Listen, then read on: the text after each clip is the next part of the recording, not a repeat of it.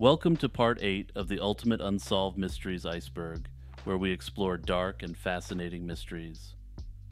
On this iceberg, we deep dive unsolved mysteries, including true crime, myths and legends, strange events, cryptids, urban legends, and more.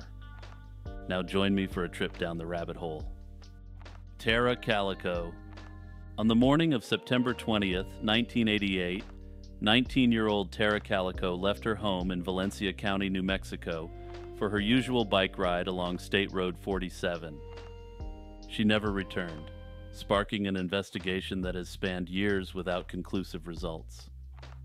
Tara's disappearance was marked by the eerie find of a Polaroid photo in Port St. Joe, Florida, in 1989, showing a young woman and boy bound and gagged.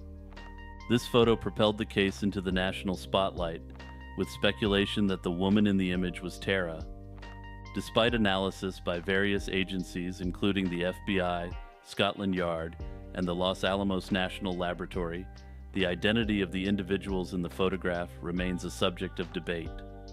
Tara's mother was convinced the girl in the photo was her daughter, citing a leg scar and a book visible in the image as evidence. The boy was initially thought to be Michael Henley, a boy who disappeared in New Mexico. However, he was later found dead, and foul play was ruled out, debunking theories that he was the boy in the photo. This photograph has kept Tara Calico's disappearance from falling off the radar for decades. Theories about Tara's disappearance have varied, from her being hit by a truck and subsequently slain to a possible kidnapping. In 2008, a sheriff claimed to have information on two teenagers who might have accidentally hit Tara with their truck, leading to her death. This theory, however, lacked sufficient evidence for arrests, given the lack of a body. The two boys indicated that they had accidentally struck her with their truck while they were driving, and rather than helping her, they ended her. In June 2023, the Sheriff's Department advised that they had submitted evidence to the District Attorney to review for any potential charges. However, due to the seriousness of the allegations, the identity of the accused is currently sealed. As of February 2024, charges have not yet been laid at this point. Further, advancements in facial recognition software may be able to say with increasing confidence whether the girl in the Polaroid is Tara Calico. Wallace Thrasher. Wallace Thrasher led a life that reads like a script from a Hollywood crime thriller. Born and raised in the New River Valley, Thrasher was no stranger to the adrenaline pumping life of drug smuggling. His early years included stints in the Navy, modeling, and even enduring a Mexican prison due to drug charges. Thrasher's life took a darker turn with his involvement in smuggling operations that saw him transporting massive quantities of marijuana into the United States, using Virginia's remote mountainous regions as his delivery destination. Thrasher's criminal activities came to the attention of the authorities in October 1984 when a plane registered to him crashed into a mountainside near Fancy Gap, Virginia. This crash revealed over 1,200 pounds of the devil's lettuce, and a body was found inside. However, upon further investigation, this was not Thrasher's body, but a pilot he hired to help as a part of his operations. But just as the investigation into Thrasher heated up, a strange event occurred. Wallace Thrasher allegedly died in a plane crash in Jamaica on November 5, 1984. Curiously, at the funeral for Wallace Thrasher, guests were officially told that he perished in Puerto Rico, while others were informed privately that he passed away in Central America. His wife produced a death certificate and gave it to the authorities, who were suspicious of the document and quickly found the death certificate was a forgery. Further, the U.S. authorities contacted the Jamaican authorities, who had no record whatsoever of any such crash. Thrasher's wife later agreed to work with the authorities to bring down Thrasher's drug empire. After she agreed to cooperate, she advised the authorities of the story she was told by Thrasher's criminal associates. she was told that Thrasher took a large amount of cash to Belize. While in Belize, he boarded another plane for parts unknown. However, his associates advised that his plane really crashed that time just after takeoff, and that he had perished. In a conversation which I imagine was something like the famous steamed hams scene between Principal Skinner and Superintendent Chalmers, the associate came up with a rather unique story. In an attempt to explain away this obvious lie, he said that she couldn't see the crash site or the debris because the fire was so bad that they just bulldozed the plane into a hole. To confirm that her husband was dead, the associate went to the site after the alleged bulldozing incident. Surprisingly, despite the supposed complete and utter destruction of the plane, the associate found Thrasher's wedding ring at the site, confirming that he must have been on board. There have been no confirmed sightings of Wallace since 1984. The authorities dropped all charges against Wallace in 2015, and the statute of limitations on his crimes has expired, so if he was on the lam, he's been free to return to the United States since then. However, he has never returned despite having a family eagerly awaiting his return, if he is alive. There are a number of different theories as to what happened to Wallace Thrasher. One of the detectives investigating the case believes that he faked his death and assumed a new identity. He cites Thrasher's high intelligence and his previous use of false identities as evidence for this theory. Another theory is that he fled to Belize as his wife was advised. However, upon arrival with a large sum of drug loot, he was slain by his associates who made up a plane crash to cover up their crime. The final theory, supported by Wallace Thrasher's wife and family, is that he did indeed perish in the Belize plane crash. Evidence in favor of this theory is that Wallace Thrasher was a doting father and husband despite his criminal lifestyle. They don't believe he wouldn't have attempted to contact them in the decades following his disappearance. The Dancing Plague of 1518. In July 1518, Strasbourg, then located in the Holy Roman Empire, though now part of modern day France, became the epicenter of the dancing plague of 1518. It began with a woman named Frau Troffea, who stepped out of her house and began to dance fervently in the streets. Her solitary performance rapidly evolved into a mass hysteria, with up to 400 people joining in.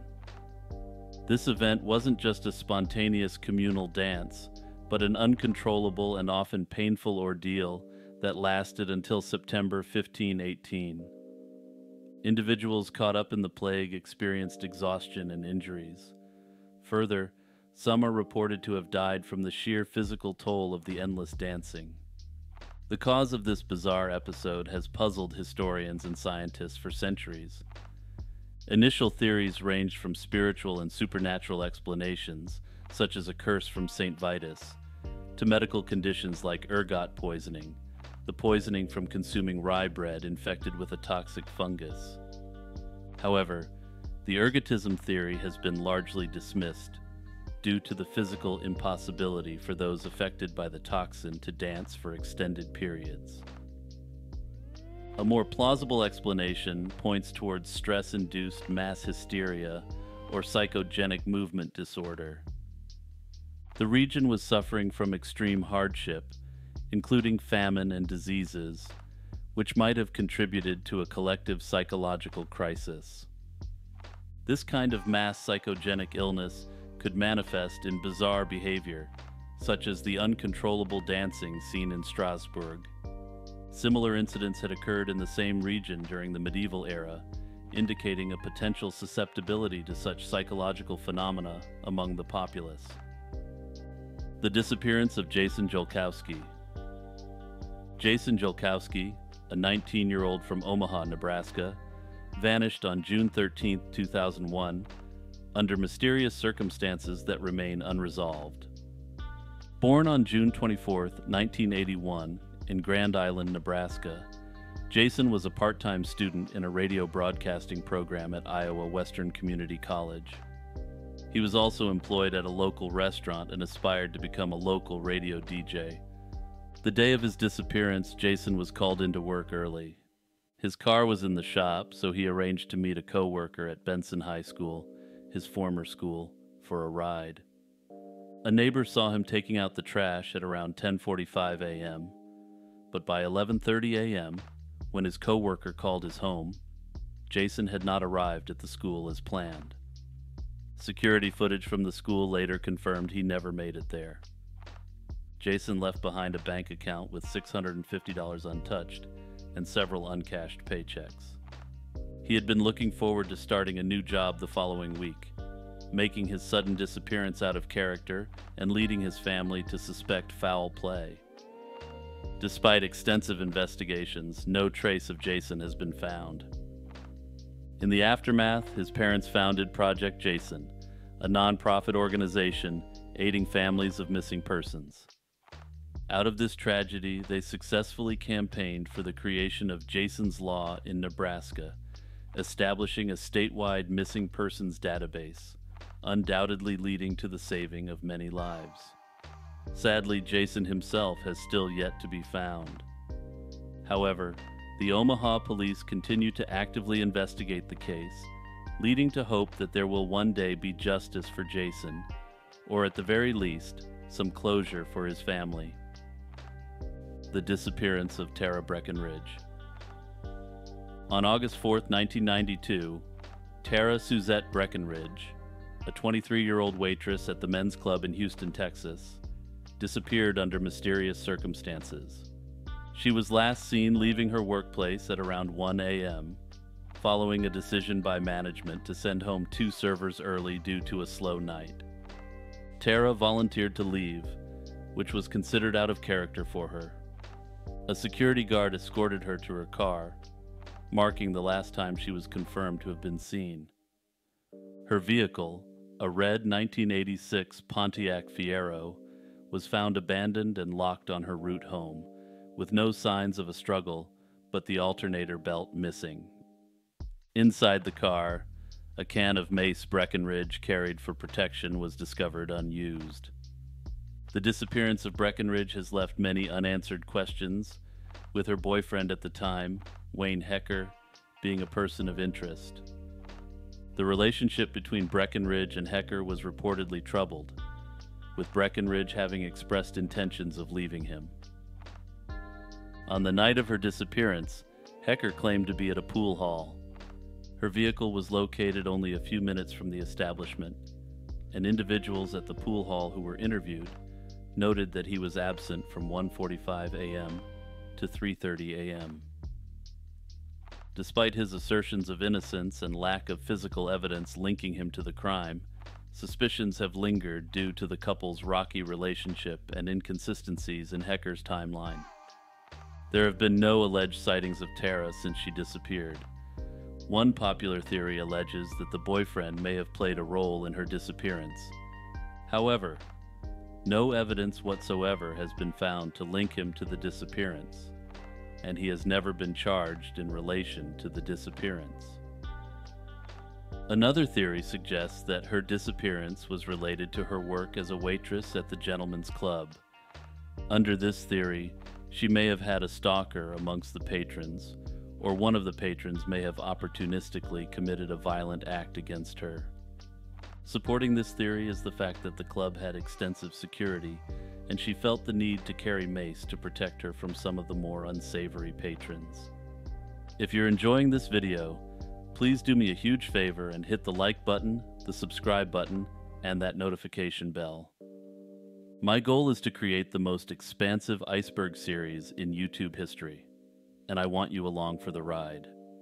Also, consider signing up for a YouTube membership, joining the Patreon, and joining the Discord. Have you seen this man in your dreams? The This Man phenomenon began circulating online in 2009 when a website claimed people around the world were dreaming of the same face, despite never having met the man. This mysterious figure, depicted in a sketch, was said to appear in diverse dream scenarios, offering advice, comfort, or simply appearing in various contexts. The website, thisman.org, invited those who had seen the man in their dreams to share their experiences, contributing to the lore surrounding him. Internet users were fascinated by the man's appearance, with some suggesting that he falls into the quote unquote uncanny valley. Also, quick aside, we're going to be exploring why the uncanny valley exists later in this video. The intrigue and speculation about the nature of this man ranged from psychological explanations to supernatural theories. Some posited he was a manifestation of the collective unconscious, while others thought of him as a spiritual entity, or even a real person capable of dream surfing. However, the backstory of this man reveals a seemingly more grounded reality. Andre Natella, an Italian marketer and sociologist, later admitted to creating the This Man story as a marketing stunt. The website and the character were part of a guerrilla marketing campaign, a fact that was unveiled when internet sleuths connected the website to Natella's unconventional marketing firm.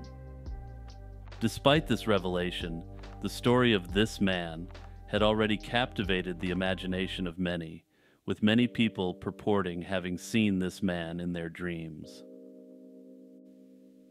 The Atlanta Ripper. In the early 20th century, Atlanta, Georgia, was terrorized by a series of brutal slayings that bore a chilling resemblance to those committed by Jack the Ripper in London.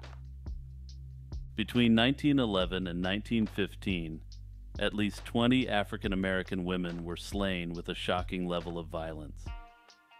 Despite the horrifying nature of these crimes, the Atlanta Ripper as the perpetrator came to be known, was never caught.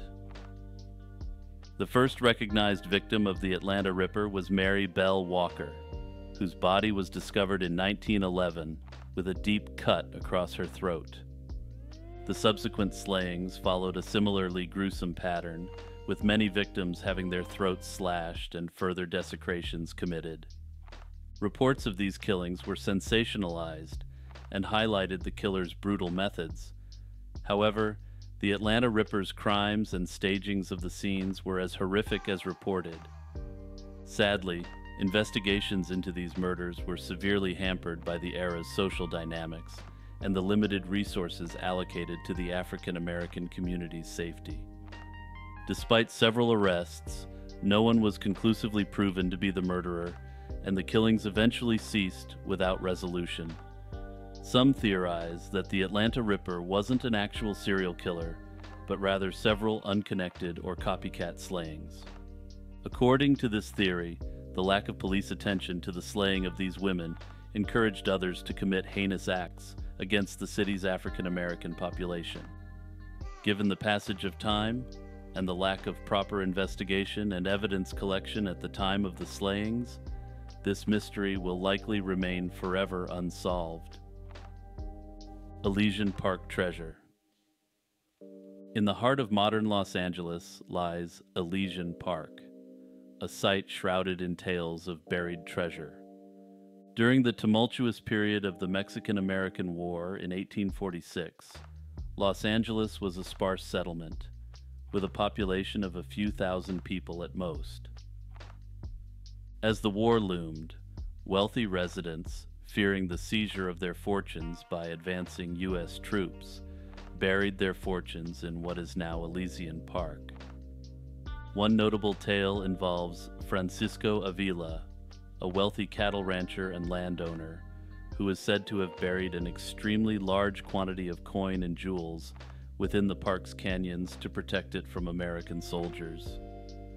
Unfortunately, according to the story, Avila died shortly after, and despite knowledge of the treasure's existence, it was never located. Over the years, the legend persisted, with various individuals and treasure hunters attempting to locate Avila's lost wealth.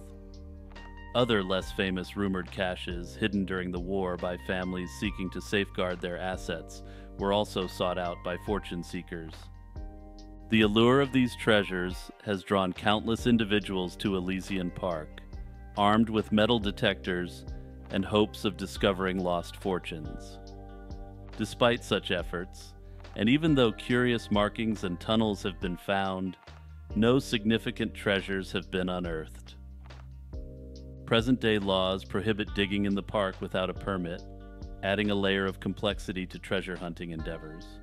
However, the legend persists. I suspect that wealthy Los Angeles residents did indeed hide their fortunes in the face of an advancing army. There's absolutely nothing unusual about this. However, upon further research, the battle referred to by this legend, known as the Siege of Los Angeles, was actually won by the Mexican forces, not the American forces. American forces never held Los Angeles prior to the annexation of California, nearly two years after the siege. Further, the death toll of the siege of Los Angeles was, to put it simply, non existent. There were no reported civilian or military causalities of any kind whatsoever on either side. My theory is as follows the wealthy residents of Los Angeles did indeed hide their fortunes in the face of the advancing Americans. However, when the siege broke, the Mexican residents of Los Angeles simply gathered their hidden wealth and returned it to their homes. In the alternative, or in conjunction with the above theory, any individual who discovered caches of treasure is unlikely to publicize the fact publicizing the finding of large amounts of treasure has its obvious problems, from taxes to descendants coming out of the woodwork to challenge ownership of the treasure. The identity of Banksy. Banksy, a street artist who has achieved worldwide renown, remains a mystery despite this global fame. His identity is a closely guarded secret, protected by a combination of anonymity speculation, and the occasional red herring. The intrigue surrounding Banksy not only adds to the allure of his work, but also serves as a protective measure, considering much of his public art is technically illegal. Speculation about Banksy's identity is rampant, with numerous theories circulating. Few facts are known for certain. However, he is confirmed to be a white male likely born in the 1970s. One of the most persistent names linked to Banksy is Robin Gunningham. This theory gained further traction when a DJ referred to Banksy as Rob in a podcast, potentially referencing Robin Gunningham. Other theories have suggested Banksy could be Robert Del Naja, also known as 3D, a member of the band Massive Attack, or even the collective effort of a group of artists. Del Naja, a personal friend of Banksy and a former graffiti artist himself, has been linked to the mystery due to coincidences in the timing and locations of Massive Attacks tours and the appearance of Banksy's art. However, given that Del Naja may be a friend of Banksy, the coincidence could be explained by the two men meeting up where Del Naja was performing. More out there, theories propose that the man behind the popular Art Attack series was Banksy.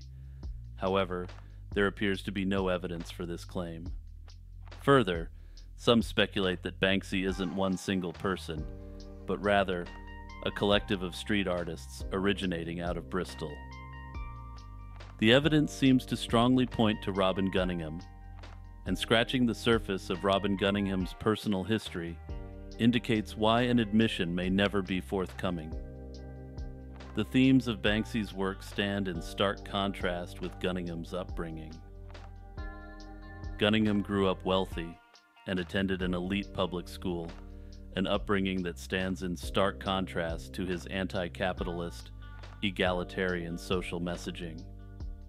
Further, Banksy has grown enormously wealthy off his work, which again serves to diminish the credibility of his message in some circles the disappearance of Sydney West. In the early morning hours of September 30th, 2020, the bustling city of San Francisco became the focal point of a bright young woman's disappearance. Sydney West, a 19 year old student from Chapel Hill, North Carolina, who had recently embarked on her journey at the University of California, Berkeley, vanished without a trace. Her last known whereabouts were near the iconic Golden Gate Bridge, a site that, on that fog laden morning, would become the center of a mystery that continues to perplex her family, investigators, and the public at large. Sydney's transition to college life was fraught with challenges. Prior to her disappearance, she had sustained a concussion, which, coupled with the isolation brought on by the 2020 event and the shift to virtual classes, proved difficult. Given these issues, she decided to defer her classes to wait for normalcy to return to her personal life and the world.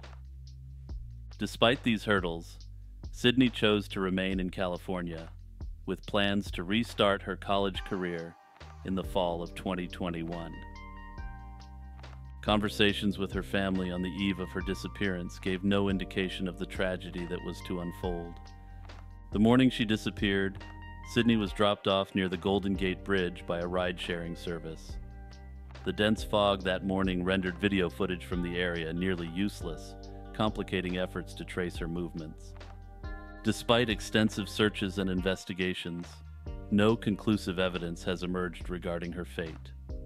The ride sharing driver was cleared of any involvement, and Sydney's backpack and laptop were eventually recovered, though her cell phone remains missing. Notably, there has been no activity on her phone, bank account, credit card, or social media profiles since her disappearance. Given the location that she was dropped off, some have hypothesized that she ended herself. However, the private investigator hired by the family has challenged this notion. The private investigator noted the absence of witness reports or 911 calls that would typically accompany such an event on the bridge. Further, the bridge was bustling with activity that morning, yet no one reported seeing Sydney in distress.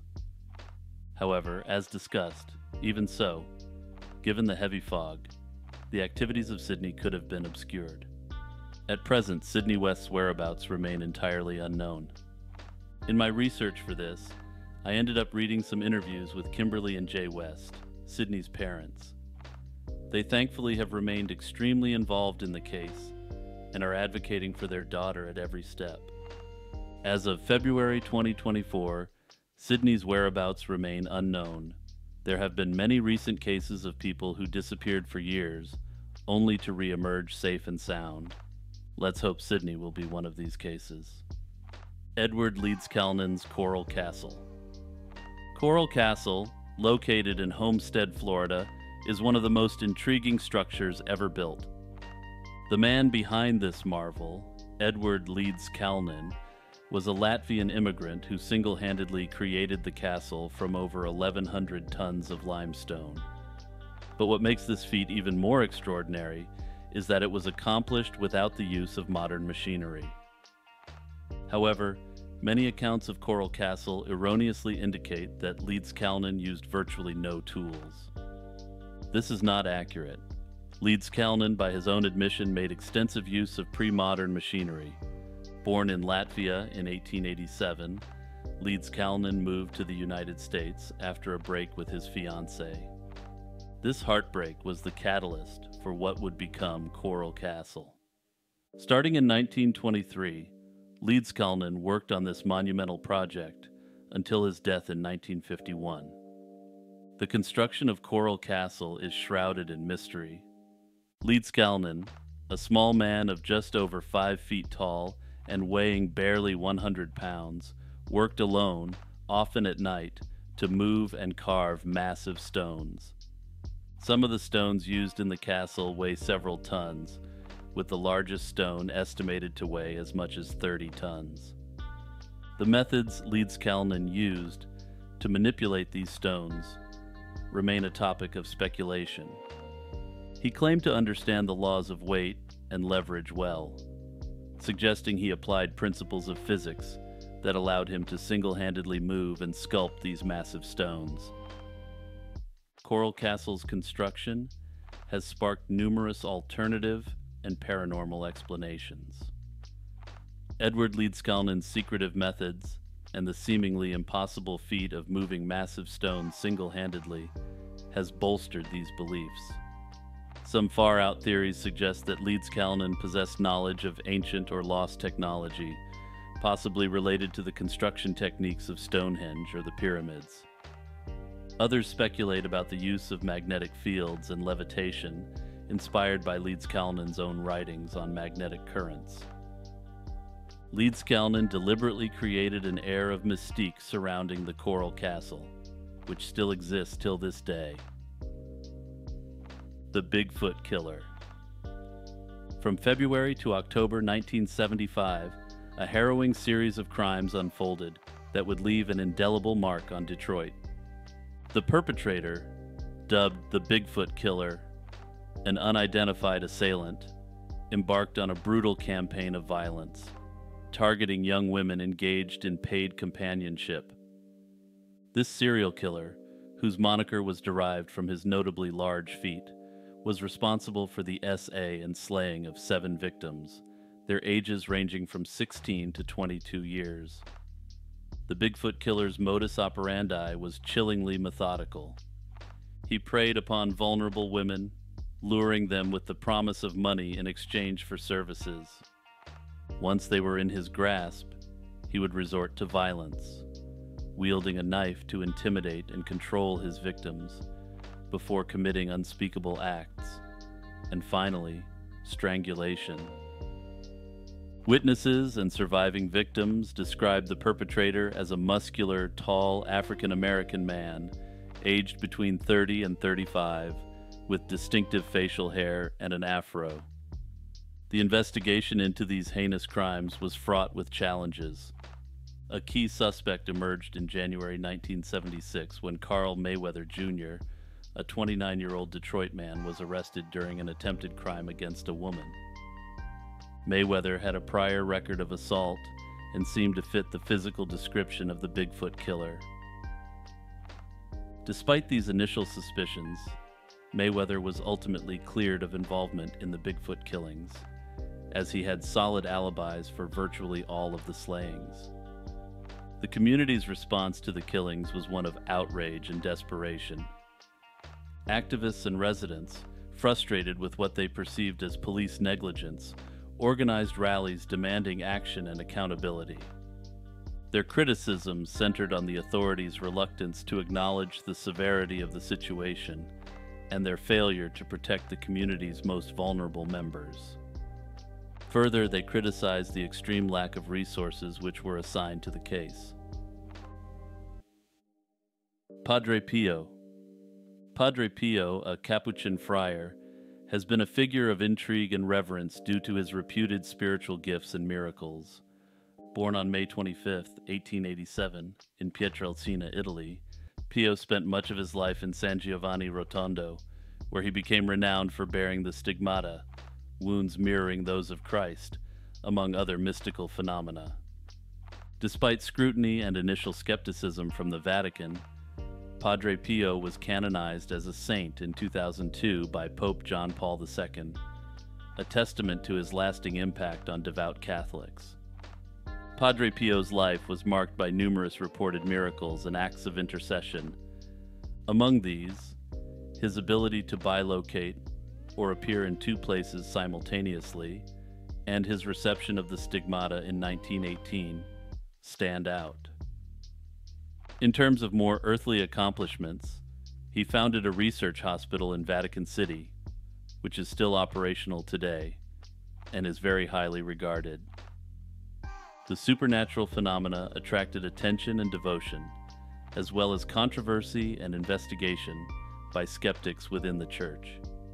Church authorities were initially extremely unwilling to accept the extraordinary claims made by Padre Pio. The miracles attributed to Padre Pio are varied, though most of the miracles surround his ability to intercede on behalf of sick and injured individuals. Critics and skeptics have offered various theories to explain Padre Pio's abilities, from fraud and self infliction of his wounds to psychological phenomena. However, for many believers, these theories fall short of explaining the depth and breadth of Padre Pio's spiritual experiences and the tangible effects of his intercessions. For the faithful, his life and works are seen as a testament to the power of faith and the reality of mystical experiences within the Catholic Church. regardless of whether Padre Pio could actually intercede and heal the sick. The belief by the faithful that Padre Pio had the power to convince the creator of the universe to improve your bleak situation undoubtedly led to much more positive outcomes for the sick. Further, while some have questioned his motives, there's no evidence whatsoever that he received any secondary gain from his activities. Given his extreme levels of fame and notoriety in his lifetime, he could have quote unquote had it all. However, as a member of a monastic order, he voluntarily chose to live a life of asceticism and continued to live a simple lifestyle despite his sheer level of influence. The Pharmacy Maniac In 2011, Chelyabinsk, Russia, became the backdrop for a chilling series of crimes by an individual dubbed the Pharmacy Maniac. This unidentified assailant targeted two pharmacies within the city leading to the loss of two lives under harrowing circumstances. The first incident occurred in May, inside a pharmacy where the perpetrator, masked and armed, demanded money from the people present, resulting in the fatal shooting of a 49 year old man named Vladimir Shin, who had walked in to purchase medicine. A few months later, in August, a second attack unfolded in a similar fashion claiming the life of 30 year old Igor Ustinov. This time, the attacker shot Ustinov upon entering, and after a brief exit to reload his weapon, returned to ensure Ustinov was deceased.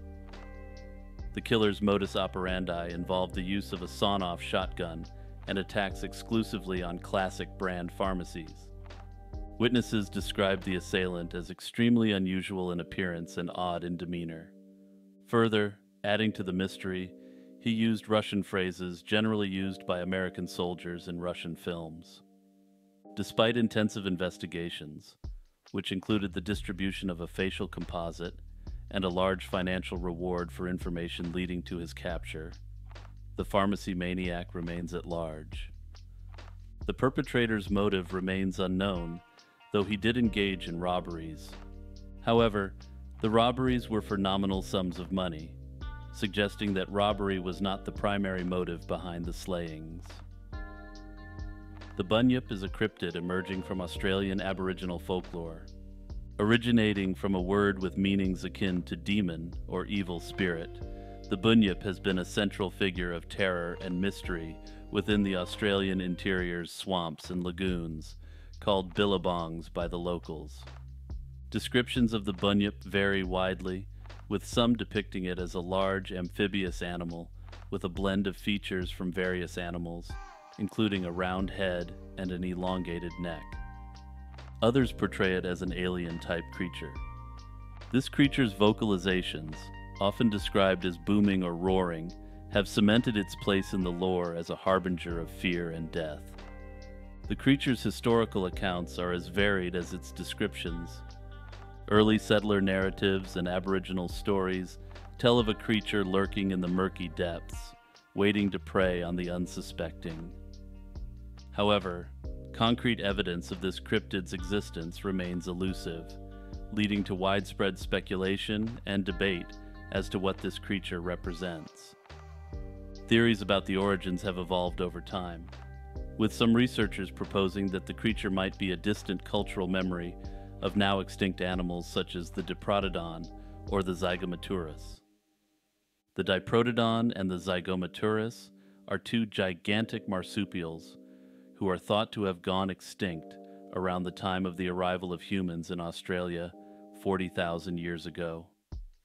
Others propose that they represent a relict population of these creatures, though there's no evidence that they continued on existing. Another popular theory suggests that a seal species that occasionally venture into river systems could be responsible for the sightings. Evidence in favor of this include the loud howling and barking associated with both creatures. The Jersey Devil. The Jersey Devil, formerly commonly known as the Leeds Devil, is a cryptid said to inhabit the Pine Barrens of New Jersey. Its origins trace back to the 17th century when English Quakers settled in southern New Jersey, where the Pine Barrens are located. The story begins with Daniel Leeds, a Quaker ostracized by his community for his interest in astrology and Christian occultism, leading to his depiction as evil and an associate of the devil.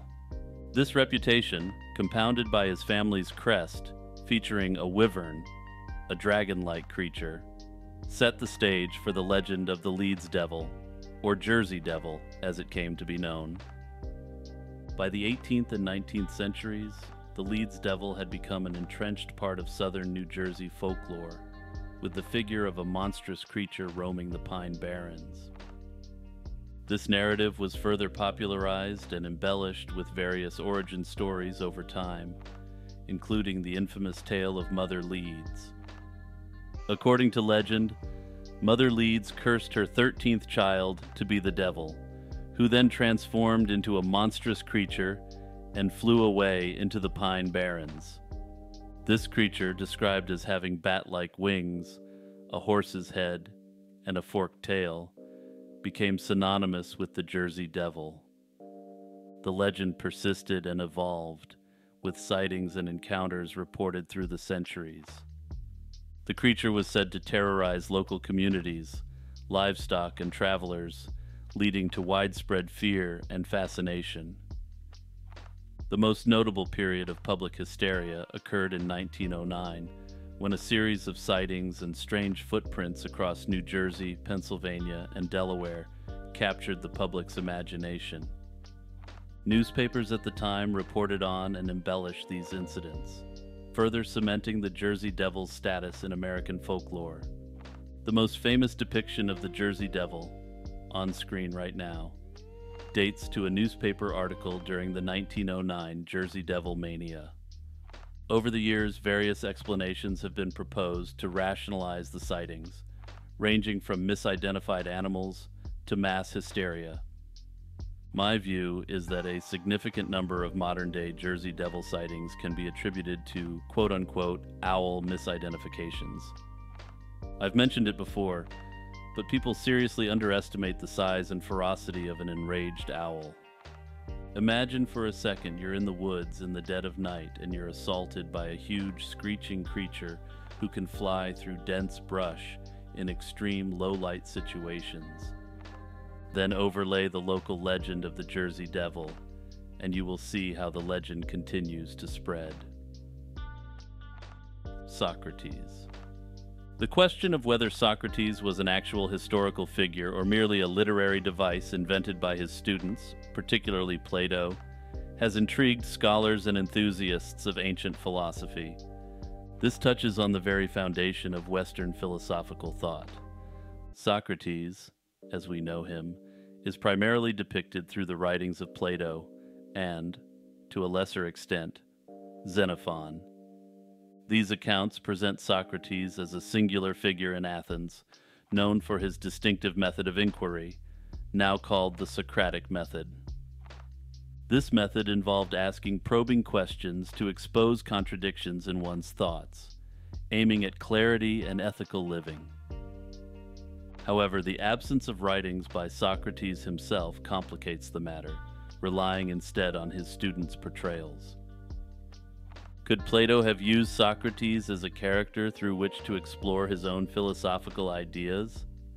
Proponents of this theory suggest that Plato crafted a compelling and consistent character to serve as a mouthpiece for his philosophical investigations.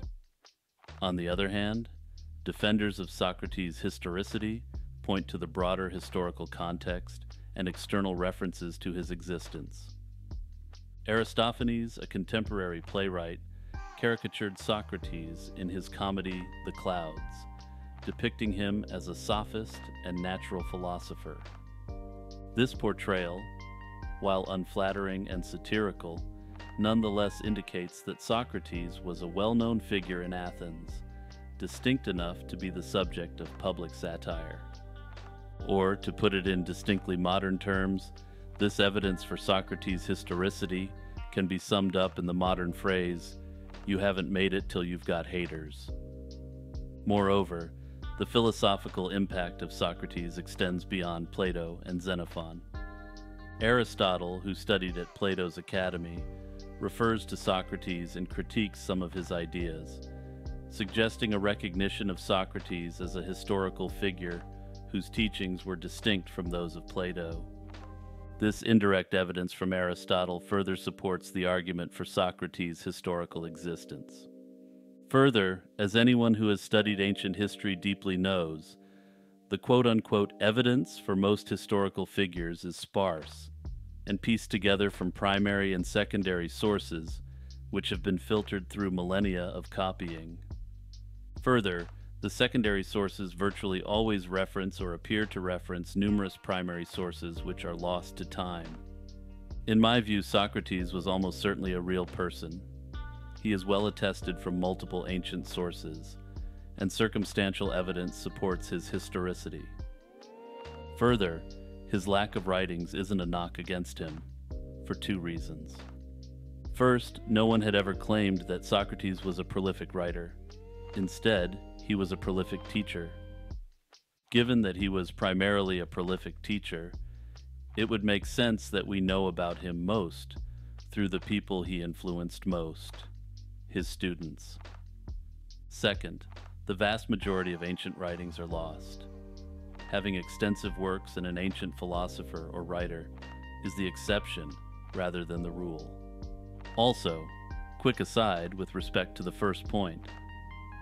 At roughly the same time in human history, on the other side of the Eurasian continent, another great teacher and philosopher had his speeches and lectures compiled by his students. That individual was Confucius, who also arguably has no writings directly attributed to him, despite the monumental influence of his philosophy. Shinjuku Kabukicho Love Hotel Killings in 1981, Tokyo's Shinjuku and Kabuki-cho districts were the scenes of a series of chilling, unsolved slayings that have since become known as the Shinjuku Kabuki-cho Love Hotel killings. The cases involved the deaths of three women, all strangled in love hotels, a type of short-stay hotel found in Japan that offers privacy for couples. The series of slayings only ceased after a fourth woman survived. The first known victim, referred to as Hostess A, was discovered strangled to death in March 1981. Found in a love hotel, she was initially believed to be a 33 year old paid companionship provider based on the identification found on her. However, it was later revealed that her ID was fake and that she was actually a 45 year old woman who was estranged from her family. The second victim, known as Hostess B, met a similar fate in April 1981. She was strangled with her pantyhose. Hostess B was thought to be around 20 years old and possibly Taiwanese, although her identity has never been confirmed. The third victim, Shojo A, a 17 year old girl, was found in June 1981. Unlike the others, she was discovered alive, but later succumbed to her injuries in the hospital. A common thread in these slayings was the use of pantyhose for strangulation and the presence of stimulants in the victim's systems, suggesting they might have ingested the drugs orally, either by force or on consent. The similarities in the modus operandi led police to believe these crimes were committed by the same individual. The suspect was described as a young, well dressed man, standing approximately 5 foot 3 seen wearing black rimmed glasses. Despite multiple witness accounts, for reasons which are unclear to me, a composite sketch of the individual was never created. Notably, no security cameras existed in the Love Hotels in question, out of concerns for the privacy of the patrons of the hotels. The Umibozu. The Umibozu, a mythical creature from Japanese folklore, has been a source of fascination and fear for centuries. This entity, whose name translates to sea monk, is depicted as a massive humanoid figure emerging from the depths of the ocean. Its appearance is characterized by a featureless, bald head akin to that of a monk, and a body cloaked in darkness, sometimes described as covered in dark seaweed. Legends tell of its immense size, often towering over ships, with some accounts describing it as larger than the vessels it encounters. Various traditional theories exist on what they are, suggesting that they could be the vengeful spirits of monks thrown into the sea or dragon deities demanding sacrifices. These beings are known to manifest during calm weather, suddenly causing storms to capsize ships or demanding barrels from sailors, which they then use to flood and sink the vessels. A peculiar way to fend off an umibozu involves offering a barrel with the bottom removed, which supposedly prevents it from sinking the ship, since it will neither attack directly, and the barrels tossed back on the ship won't sink it. Historical and literary references to the umibozu date back to the Edo period, with tales of its sightings contributing to the tapestry of Japanese maritime folklore.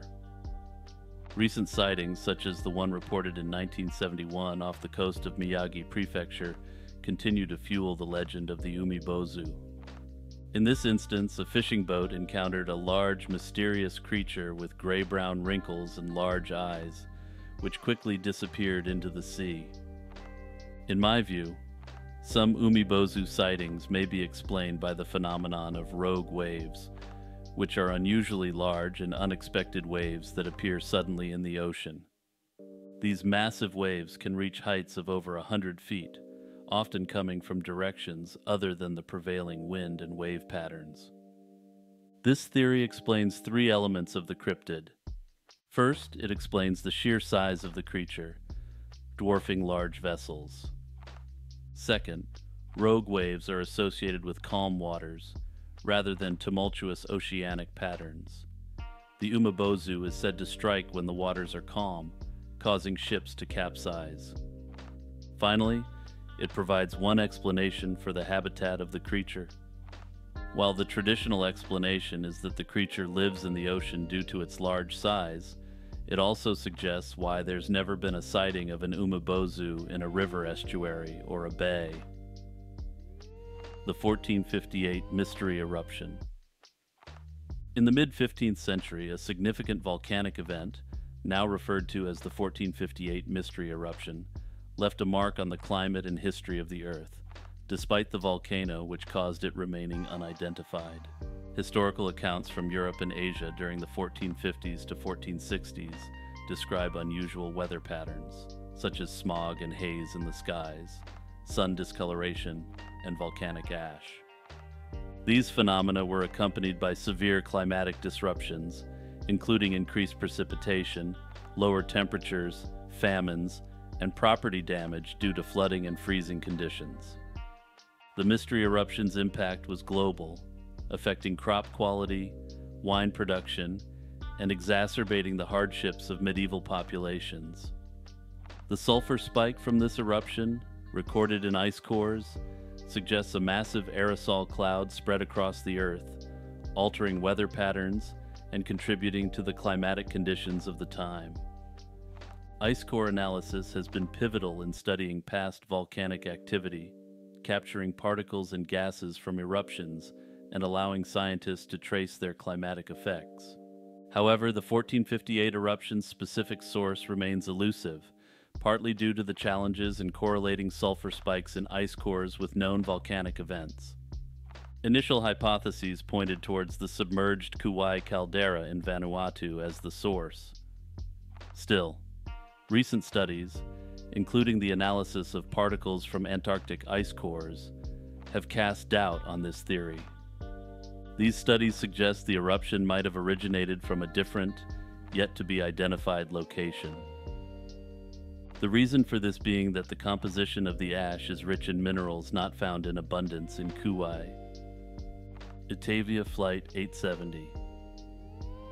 On the evening of June 27, 1980, a DC 9 aircraft, operating a domestic scheduled passenger service, vanished off the radar over the Tyrrhenian Sea near the Italian island of Ustica, plummeting into the dark waters below. All 81 individuals aboard perished in an event that has since been entangled in a web of theories, speculations, and government secrecy. At the heart of the Itavia Flight 870 tragedy lies the immediate cause of the crash an in flight explosion. However, the nature and origin of this explosion have been subjects of intense debate and investigation. Initially, mechanical failure was considered a potential cause, with investigators probing the aircraft's maintenance records and operational history for any anomalies. Yet no conclusive evidence of mechanical fault could be definitively linked to the catastrophe. As mechanical explanations faded, attention shifted towards more sinister theories, with a prevailing hypothesis suggesting that the aircraft was caught in a military skirmish and shot down by a missile. The Cold War era, marked by heightened military tensions in the Mediterranean, provided a volatile backdrop to this theory. There were reports of a radar sighting of an aerial engagement involving NATO and Libyan forces near the aircraft's flight path on the night of the crash. Adding credibility to the overall theory, Libyan dictator Muammar Gaddafi himself was traveling in the same airspace when this horrible tragedy occurred. This led to speculation that Itavia Flight 870 might have been accidentally struck by a missile intended for a military target or caught in the crossfire between military jets. Adding to the swirl of conspiracy theories were allegations that France had attempted to end Gaddafi on the night in question. However, despite various investigations, no evidence has conclusively proven this theory, and the French government has vehemently denied any involvement.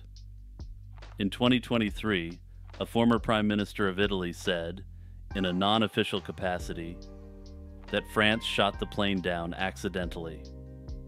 Another popular theory is that the plane was brought down by a bomb from an extremist group as part of a period of political violence in Italy known as the Years of Lead. Given the semi official endorsement of the missile theory, I suspect this may prove to be correct. However, due to the sensitive nature of such an admission, this case will likely remain officially unsolved until long after everyone tangentially involved has passed away. Atlantis. Atlantis, a name that conjures images of an advanced civilization lost to the depths of the ocean, has fascinated historians, philosophers, and the general public for millennia.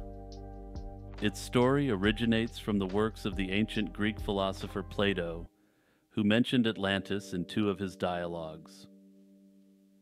According to Plato, Atlantis was a powerful and advanced kingdom that existed about 9,000 years before his own time, making its supposed timeline around 12,000 years ago from today. Plato described Atlantis as an island larger than Asia Minor and Libya combined, and located beyond the Pillars of Hercules, the term ancient Greeks used to refer to the Strait of Gibraltar. The island was said to be a paradise, rich in natural resources, and its people were advanced in technology and architecture. The Atlanteans were described as having a powerful navy, and their rulers were said to be the descendants of Poseidon. The heart of Atlantis was described as being concentric circles of land and water, with a magnificent palace in the center. The Atlanteans were depicted as virtuous people, living in a utopian society where peace prevailed and laws were just. However, as the Atlanteans grew powerful, they became arrogant. According to Plato, their moral decay led the gods to become angry, and as punishment, their island was submerged forever. The historical and geographical accuracy of Plato's account of Atlantis has been the subject of debate among scholars. Most scholars believe Plato's story was intended as a metaphor for the moral and political decline of his own society, rather than a historical account. Others have taken his descriptions at face value, proposing various locations for Atlantis, with the most common location proposed being around where the Azores are located today. Another theory proposes that the story of Atlantis derives from the Guanche people indigenous to what are now the Canary Islands. In favor of this theory, this was the only island based civilization beyond the Pillars of Hercules that would have been known to the Greeks. In my view, it's abundantly clear that Atlantis was never intended to be a real place, but to be used as a teaching tool. That said, The idea that the Guanche may have been used as inspiration for the idea is fascinating and adds new interest to what I had considered a stale, unsolved mystery. Man eating trees. Stemming from tales as early as the 19th century, these plants were described with a horrifying appetite for human flesh. A notable story involves a naturalist in Central America encountering a vine like plant, dubbed the Devil's Snare, capable of ensnaring and harming animals with its rope like tissue. This plant was said to possess tiny mouths that would open to consume animal blood, but later investigations revealed these accounts to be obvious fabrications. Another famous example of the man eating tree supposedly came from Madagascar. According to newspaper reports in the late 19th century, a German explorer ran across the Makoto tribe while traveling through Madagascar.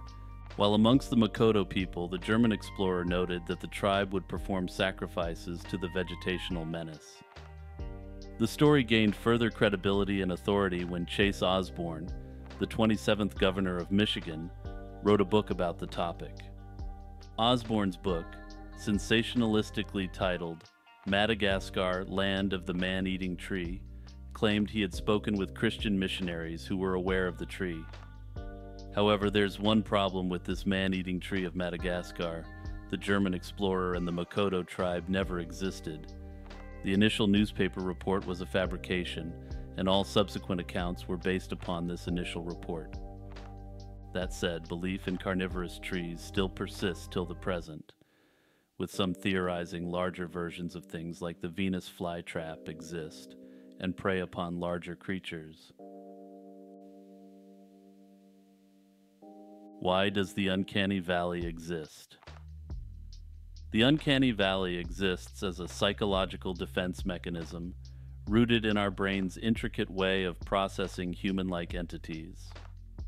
When robots or avatars nearly mirror human appearance or behavior, they trigger a primal alarm within us.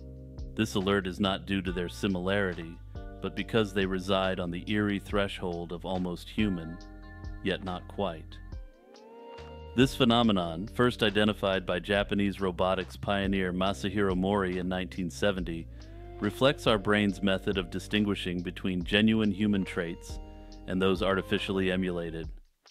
Studies using functional magnetic resonance imaging have pinpointed brain circuits involved in evaluating social cues and determining the eeriness of almost human agents. And as such, the phenomenon has a confirmed physiological basis in the human brain. However, the existence of the uncanny valley effect begs the question why have humans evolved to be on guard around near human entities? What beings were we afraid of that made us select for this? One hypothesis is that this is proof of extraterrestrial entities visiting Earth during humanity's earliest years. Another hypothesis is that this evolved due to the existence of other near human hominids coexisting with humans and perhaps being hostile to humans. My hypothesis, which is less fascinating than the above, is that the uncanny valley may be common to all mammal brains as a way to assess differences between closely associated species. Thanks for watching. If you enjoyed this video, make sure to like, subscribe, and hit that notification bell. I plan to make this the most extensive iceberg series ever, but I can only do that if you subscribe. Also, check out the Patreon, my YouTube membership, and the Discord. Click the links in the description. Shout out to my patrons Noah Schubert, Kazakh Cutie, and Kurt the Squirt. Until next time, stay healthy and peace out.